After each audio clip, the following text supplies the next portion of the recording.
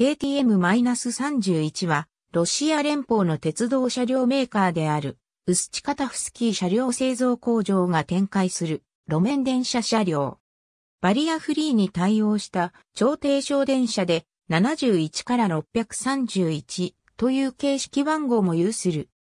ウスチカタフスキー車両製造工場が初めて製造した超低床電車の71から630や低床構造を有するボギー車の KTM-23 等の設計をもとに開発された中間に車体長が短い車体を有する3車体連接車。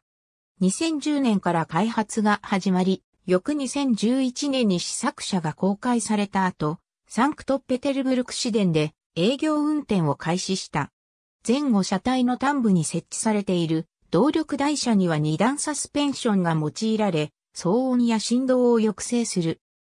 この動力台車が設置されている箇所を除いた車内全体の70%が床上高さ 370mm の低床構造となっており、両開き式の乗降扉からはステップを経ることなく乗降が可能であるほか、高い床部分にも片開き式のプラグドアが存在する。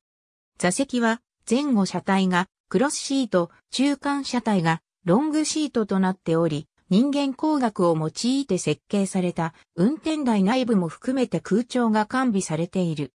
主電動機には、チェコ製の三小誘導電動機が、制御装置には VVVF インバータ制御方式が用いられており、回生ブレーキを搭載することでエネルギー効率を高め、運用コストの抑制に貢献している。